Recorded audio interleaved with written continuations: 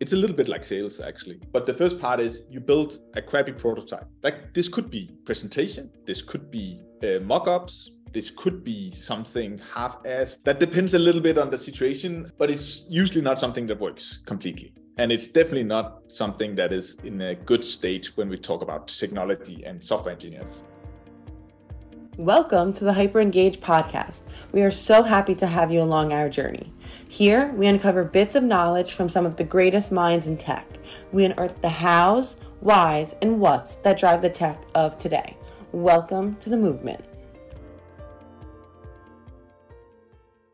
Hey, greetings, everybody. This is Adil from Hyperengage Podcast. I have my co host Taylor Kenerson, uh, a very unique slightly uh, different uh, product and the guests we have. We are now rolling in more CTOs because these technical conversations go way beyond than any other conversation. So we're going to be talking about tech stack, uh, you know, associated with uh, our guests, their product, their technical teams, how they're scaling operations, where they're sitting at uh, as, as a business uh, in a B2B space. So uh, thank you very much, Ole, for joining. Ole is a CTO uh, and, and co-founder at Dream Data. It is a B2B revenue attribution platform, more for the revenue teams, more for the data, uh, you know, centric teams that are basically investing so much into revenue ops, uh, data, like revenue ops, data integrations, all of these. So we'll learn more about uh, what what what Ole is doing at Dream Bream Data. Thank you very much, Ole, one more time for for taking this on your schedule. It's a pleasure. Thanks for having me. I'm looking forward to the talk. Woo. Let's dive into it, Ole.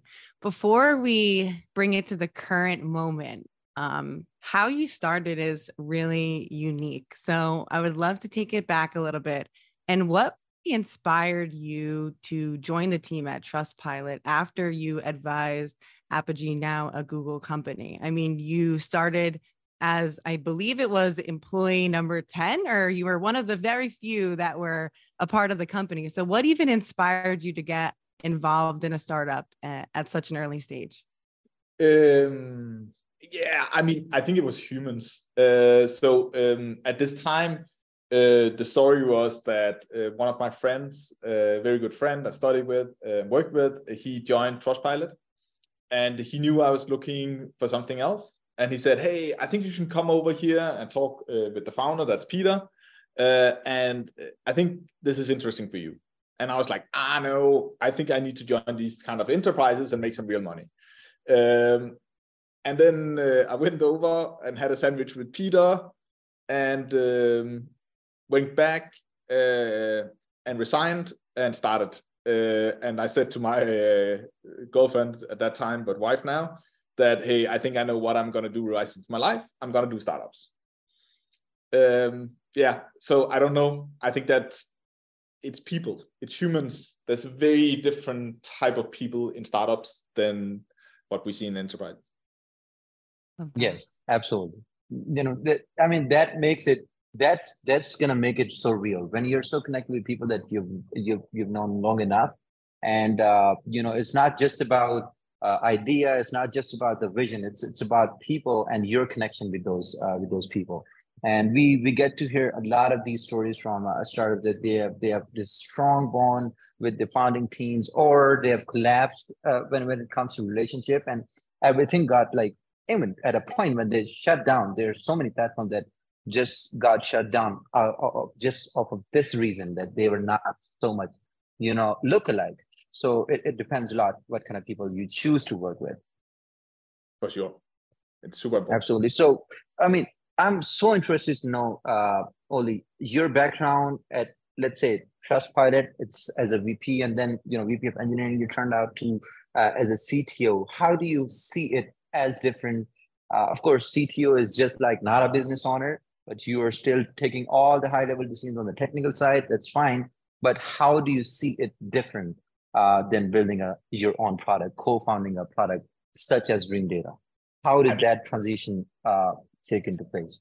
So I was very early employee at uh, Trustpilot, so so uh, I had some of the co-founder uh, pains as well. But I think the, the main difference is that uh, when uh, we miss sales targets uh, uh, at Trustpilot, I didn't sleep bad now that is kind of hurting a little bit more uh, and kind of something that has to kind of hit as well. Um, I think also that was the journey I took through Trustpilot. I went from being uh, the, the technical maybe leader and more moving into actually being the a business uh, leader and taking responsibility and maybe my expertise is uh, uh, technology and product but but i think um, i see it more as i'm a technology leader that is responsible for driving revenue with with technology and product um, so so i mm. do kind of take uh, revenue responsibility um, yeah, and at least uh, if not everyone at uh, Trustpilot would maybe recognize that, but at least uh, I'm pretty confirmed that everyone at Dream Data will recognize that. Mm. Yes, yes, because you spent like seven long years there, and uh, as you mentioned that you were uh, since making all the high level technical decisions, but you're closer to driving sales because uh, in a B2B space in this day and age, it's your product. You your product has to be bigger than your marketing. Yeah so, so you can optimize. Exactly and it's not like i'm driving sales. I don't think uh, it, that's kind of what i do either here or before but but it's more that i take responsibility of uh, making revenue so for example we uh, talk with customers uh, and prospects all the time in tech and product to understand them so we make sure we build valuable products we measure and understand that what are features used uh, which features can we charge for, uh, which features are valuable uh, at kind of multiple level, talk with sales. Um, of course, I would also help kind of close a deal uh, and have be part of the sales conversation. But it's not so much that part I'm talking about. It's more mm-hmm. kind of taking the responsibility of making sure that our product is valuable um, and sellable. Mm-hmm. Cool. Very interesting. And talking about like in the early days, back in 2018 when you started with Dream Data, I'm sure uh, you know a lot of these founders, like many of them, since you are been been there as CTO as Trustpilot for seven years, not that hard of a thing, but a lot of these co-founders, they're so much overwhelmed with so many things that they don't know. So what kind of challenges you had first off getting the foot in the door when you started back in 2018 in terms of getting, of course, on the marketing side, there was a different challenge. What kind of market you need to tap in that you already might know, but how to position the product, uh, how to finalize the product features, like what was your process? Like you made a minimum viable product, hand it over to some of the folks that you knew at, uh, you know, at Trustpilot, your past relationship. How did that uh, workflow in the beginning started? Because a lot of these startups would get a huge help. Yeah. So um, I think it's the hard part is is figuring out what is valuable and so it's very easy to come up with a lot of features that sounds uh, awesome and it's very easy to convince yourself that these are amazing. Uh, some of them might be uh, more likely most of them are not. Um, this is a guy called marty cagan uh, uh, that kind of learned us that. Uh, marty cagan is the guy who also learned google and ebay these kind of things amongst others. But um, so it's figuring that out. And so then how do you figure that out well you um, it's a little bit like sales actually. But um, but the first part is you build a crappy prototype. Like this could be presentation. This could be uh, mock-ups. This could be something half-assed that works a little bit uh, that depends a little bit on the situation uh, but but it's usually not something that works completely and it's definitely not something that is in a good state when we talk about technology and software engineers. Um, and then you go knocking on people's doors. Hey, do you want to talk a little bit with me? Do you have this type of problem? Uh, try to talk to me about like how you're solving this problem today. Would you like to solve this problem? How big a pain is it? Hey, I have this prototype. I would like to show you. If you had that, would that help you? Right? Uh, and probably some of the first prototypes you show, then people say, yeah, mm, not really. Right? and then hopefully at some point you have a prototype where people start saying, yes, that seems like something. And then you start saying, well, if I built this, would you pay for it? And that's the real important question right? And if they say yes, then you would kind of want to commit them. So what if we do could be a non-legal binding letter, but an intent to buy uh, for some amount, let's say ten thousand dollars, right? And then if they're ah, ah that that's not how I meant it, well, that's an indication that you just try to be friendly. Uh, that's of course good, but not what you're looking for, right? You're looking for those people who are actually willing to commit. Um, mm. And do you do that? And when you start finding a few customers that has some of the same problems that you can solve without having to build too much, that's where you start having something you can go out and build. And I and think that's yeah, sorry. That's a really interesting um, point that you brought up. I feel like so many uh, founders, especially in the early days, they're looking for that hack or that tip.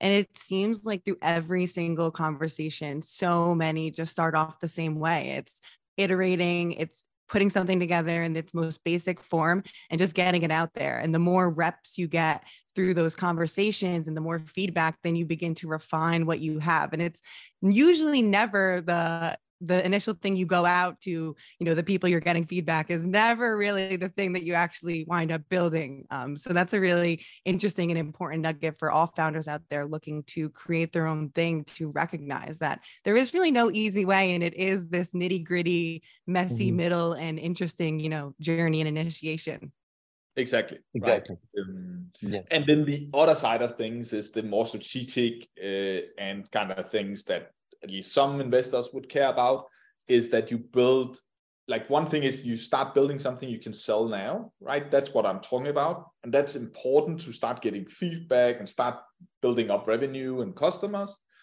But you need to also have a long-term vision. Where are you're moving? How you're going to do that? Uh, and that's kind of where strat- like strategy technology and also the the market plays in uh, and this is why it's important that it's actually the CTO that does this.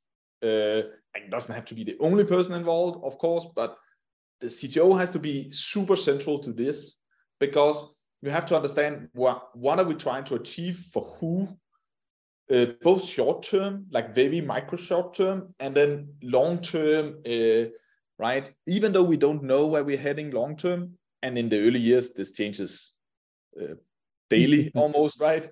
Uh, but later, uh, you have to build that up. That's your kind of job to make sure you build the technology to be ready at the right time. Um, and particularly as mm-hmm. early stage, we are we can't build too much, so we can't over-engineer. Um, I think many most engineers at least have a period in their life where they uh, end up over-engineering. Um, that's bad in this stage it is. It is.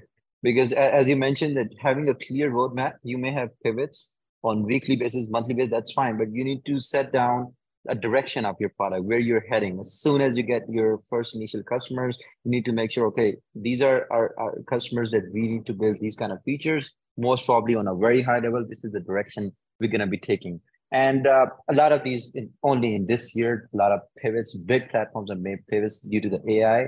That is, I would say, once in a decade kind of uh, you know transition that you know tech space has in my lifetime of 28 9 years it is the biggest transition that we face but again uh, as a cto building a product having a domain knowledge you can definitely have a ballpark high level roadmap of your product uh, you know for ever since you get like the customers initial customers. What do you think about this?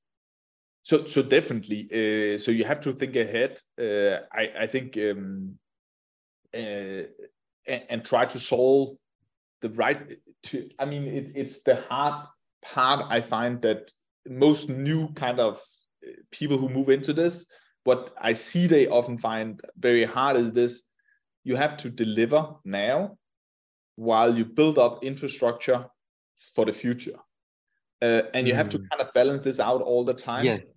Uh, yes. and as the cto you're responsible for both and you are mm. accountable for both at the same time, but no one will praise you for building infrastructure today for the future. Uh, mm. Right. Uh, but you have to do that.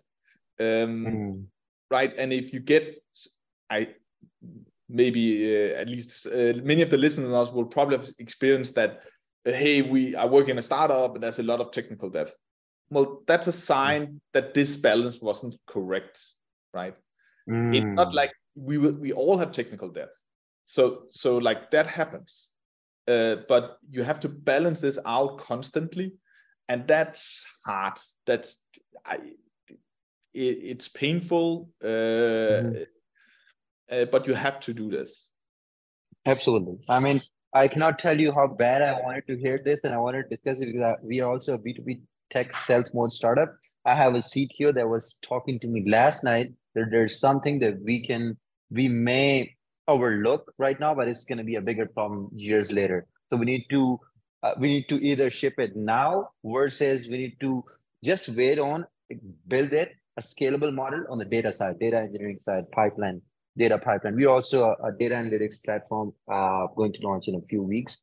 So, I mean, I, I absolutely echo with this uh, because, uh, you know, I'm not an engineer, but I, have seen him, uh, you know, banging his head around uh, around these kind of problems that are, you know, creating some complications in the beginning that may, right. Uh, you know, in and, the foreseeable future. On the other side, you have to also kind of pull back as an engineer. Most of us like to have this clean architecture and yeah. Uh, uh, but you have to move fast here. So it, like speed is everything. Uh, uh and I I I actually like uh, like Facebook's old move faster, break things. So at this stage, this is super super important. Like it's okay to break things, and it's very very. So one of the things I actually had to do this at Trustpilot a few times where uh, we were shipping fast and probably breaking things, uh, and then uh, sales got upset, right? And I had to stand a little bit in the middle here and say, hey, no, like because we can't beat up the engineers for that because then they can't move fast, right? Mm. Of course, we have to respect the customers and the sales process and so on. So we have to find a, a, a groundwork for them to work as well. But we can't beat up engineers for this. And this happens in more startups than I like, is that and then they get scared, right? And then they test, they over-engineer, they over-test, they suggest to hire uh, uh, Q, more QAs instead of actually hiring software engineers. Mm. And then you end up not delivering uh, value. Mm. Yes. It it's That's... also such a delicate balance too of you know as a startup and definitely you know launching something for the first time that you have to ship fast. But then it's also the mentality of you want it to be just good enough, but then sometimes you get caught up in that just good enough is perfect. And then you're too deep in the trenches and you're trying to pull back. So, what would be your advice, Ali, to you know people going off on their own journey, starting a company on how to balance that, how to manage those priorities and those you know different tasks that you know need to get done but when is the question um, hmm, uh, it, this is hard, and so it is. Um, but you need to be a little bit into the dirt. Uh, you need to very be very clear on where's the value lies. Um, so what is the valuable piece of this feature we are delivering? And then you need to have a focus within the team of software engineers, product managers, designers, that you always ship the value first. Like always get the value out and be okay that there's a little bit of shaky technology behind it. But get the value out. This enables us to show that we move fast to customers. This is exceptionally important early stage, but it also enables us to prove that it's valuable. Very mm. often we have these ideas and we have some proof, uh, right? But we need to prove it's valuable. What if it's not? And that happens. And this happens definitely for me. We ship something, it's not valuable. Well, if we wasted as little time as possible, killing it is not as painful. But if we did all the work to make it a perfect feature and it's just, then killing it is very, very painful, right? And we can't do that. So we need to get that value out and get that feedback. Early stage, we also have that luck that scale is actually not a problem right? Because we don't have scale. we have few customers, uh, maybe no customers yes. even, right? Uh, so scale is a problem for later, but we can still architecture our setup so that we can maybe uh, decouple certain services and so so that okay we have something over here we know that doesn't scale but we'll handhold it for the first few customers until we prove it's valuable and then we'll readdress this problem uh, sometimes we'll be outspoken about it so we'll tell the entire team saying hey we can get three customers on this when we hit three we have to go back and uh, then we can't sell this anymore right um, yes. So I've done that many times. So that's one way. Um, yes. Uh, sometimes you just know you can. At Trustpilot, I had the rule that if this is uh, not a bigger problem, then I can uh, just not sleep for a couple of days. Then that's kind of uh, uh, okay. Uh, so we did that for a while. Um, yeah. Mm, yeah, we, we're doing it we are doing it for 30 customers for 30 beta users so then we'll have to do some uh, you know on the back end adjustments on the data pipelines all of that this is what i got from the cto and which i think which I, you you you also validated that it's it's it's the right decision right now that, that's uh, a good way of often doing it uh, right you get some real data in you you get mm-hmm. to see if you are on the right track uh, you get some feedback from customers while 30 is, uh, I assume, not a larger amount that you can actually manage it uh, by hand. Maybe there's some yes. processes an engineer every morning gets up and press a button or whatever yes. uh, to sync a mm-hmm. job. That's fine, right? Yeah, absolutely. So now we have like uh, pretty much up on time, like five, six more minutes. If you have a hard stop, do let us let us know. We can squeeze another five minutes since we're going to be talking about Dream Data your post sign up journey. I see you have a premium plan. I'm sure you're driving your tech stack more heavily towards you know converting these free to you know the pro plan and then teams plan uh, sorry business plan and enterprise so how does the tech stack look like at dream data uh, while you're someone that has made a high level decision on incorporating the, uh, the t- technologies for the post sign up and uh, you know how you're ensuring the success of these accounts these paid accounts once they're converted uh, to paid account? Like, how does the onboarding look like? Just give us a brief on that, a bit on the technology. So once you mention technology, our audience and even ourselves will know, okay, this is how they're leveraging, let's say, this technology to ensure these kind of use cases uh, around customer success or post sales journey, all of that. So, so uh, we are very much about data. So the Dream Data is a is a, an attribution platform, but we in general go to market analytics platform for B2B companies. So we'll we gather a lot of data uh, about the customer's journey, and so we use that actually a lot uh, ourselves to onboard customers, to do analytics, to target customers, uh, and so on. Um, so, but when we talk about onboarding, we get people in as a self-service sign-up, and then we start communicating to them in various ways. Uh, so we uh, we send out emails to educate them about the product. We try to uh, motivate them to uh, onboard themselves. Uh, so that's kind of the, you could say, the product, uh, and we'll continue doing that, uh, like in various ways, depending on how they act um, within the product. While we do that, we also kind of send the, the signups to sales, and sales are able to look at them and classify them. Um, Today we do that mostly manually, but I think in a very clear near future we'll kind of uh, use the large language models uh, to look up uh, different information about these companies. Uh, we have also a lot of enrichment data from our own product uh, come in, and then kind of use that to make sure they they do that well, or maybe even automate that uh, part of the process. And then sales might start reaching out to them um, they might also wait until uh, the customer uh, says, "Hey, I want like to upgrade," or uh, until they onboard a little bit more, and then sales start having conversation with them uh, in a, I think, relatively straightforward, normal uh, process. So that's mm-hmm. kind of how we do all the inbounds. Um, mm-hmm.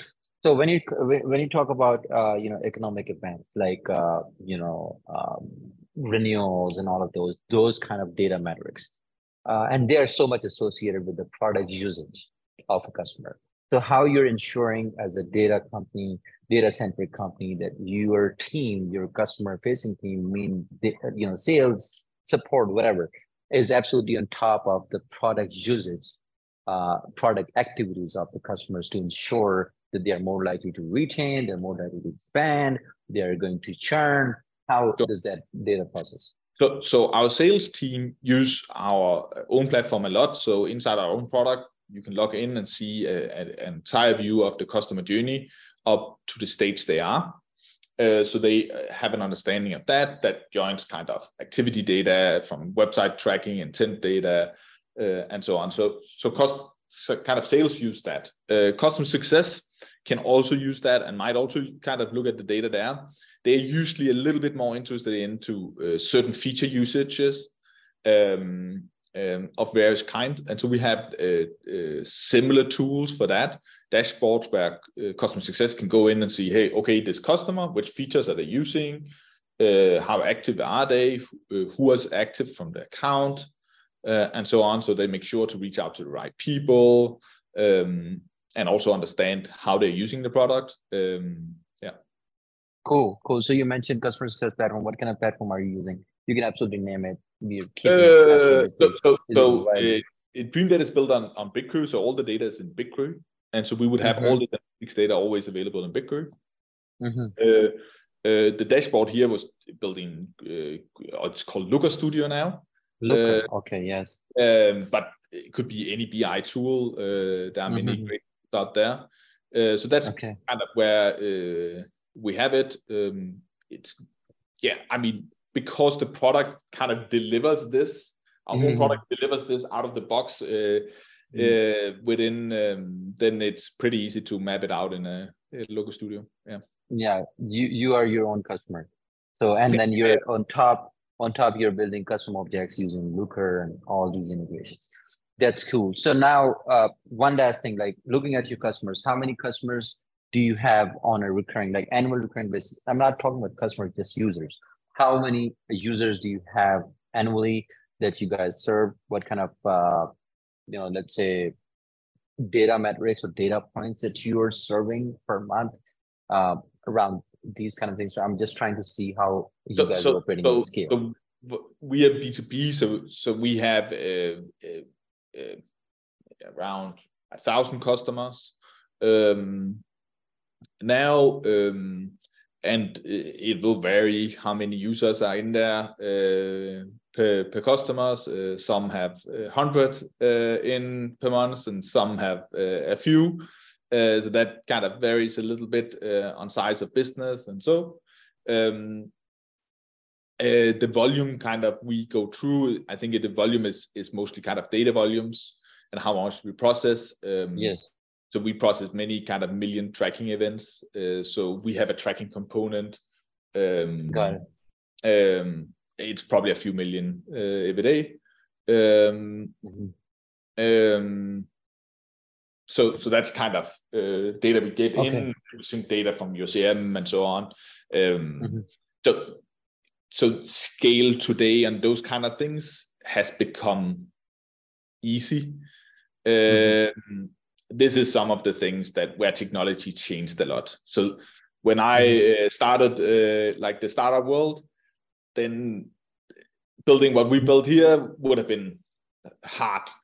I would say almost impossible if you were not a huge, huge mm-hmm. corporation like Google or something. Yes. Today, this is easier accessible and scalable and something you can build uh, at least with the right engineering mindset. Then scale is very, very. You're saying this. You're saying this because of uh, generative AI. No, no, no, no. Uh, so this is more about scaling data volumes. So, mm-hmm. like when I started, uh, I mean, now I'm old maybe, but uh, but uh, when I started here, like auto scaling of services, uh, uh, load balancing was available but not a press on a button. Today, you mm-hmm. just like scale to any load of CPUs uh, with press on a button, right? Um, that's also what is happening with uh, AI today, right? So, uh, and that was actually the bet we did at Dream Data. So we mm. we have not, in purpose, not built too much uh, AI stuff into the product. We did mm-hmm. that because we wanted to more focus on getting data streamlined and getting data ready for doing your own data trained. You're you're looking towards your own data machine learned or trained so that you yeah, can leverage it. So, yes, we didn't do that uh, in mm-hmm. purpose because we saw the hard part and what we saw people struggle with was actually collecting the data and getting it into a form where they could run machine learning on top of it. Mm. Uh, so we focused on that initially, not saying that we could like we would necessarily continue only doing that, but we started focusing on that uh, because we believed that there would be uh, some new models coming out uh, not necessarily that I predicted the, either the time or the uh, like the how it looked, uh, mm-hmm. but we predicted at least advanced models would come that would solve many of these problems better than we could most likely do. Um, mm. That's also what's happening okay. now. So the large language models uh, we see both from Google and or not Microsoft uh, GPT uh, or OpenAI um, are amazing, right? It's models that most of our startups would not never be able to build, even if we exactly. understood technology. Yes. We couldn't yes. uh, kind of afford building it. Now they are mm. accessible, uh, so we can mm. query it directly from BigQuery. Um, it, it's amazing, right? Uh, so that means we can do very advanced stuff uh, now, and because we have the data mm. ready, we can mm-hmm. just do it. So, for example, a thing we just did the other day in a couple of hours was uh, we have titles uh, pulled out from our customers t- um, CRM, and now mm. we did a model that could kind of build this into roles and seniority, mm. right? Something that was potentially hard before, or at least something that took uh, some time, and today mm-hmm. this is very easy to do, right? Uh, as in hours mm-hmm. of. Uh, and so some problems are better pushed mm-hmm to the future, even though you could mm. do them today and mm. you are eager to do them today. Sometimes it's better to push them to the future because technology will solve it for you. And some problems you have to fix today. Absolutely. Absolutely. So, Ole, it was real nice uh, talking to you today, and we learned a lot. Like, since that's why I love so much having uh, people with technical background more often and uh, you know we get to learn a lot a lot of different things and uh, i really appreciate your time here today most welcome thanks for having me thank you ali love that have a good rest of the day Thank you so very much for staying with us on the episode. Please share your feedback at adil at hyperengage.io. We definitely need it. Uh, we will see you next time with another guest on the stage with some concrete tips on how to operate better as a customer success leader and how Im- you can empower engagements with some building some meaningful relationships. We qualify people for the episode just to make sure we bring the value to the listeners. Do reach us out if you want to refer any CS leader. Until next time, goodbye and have a good rest of your day.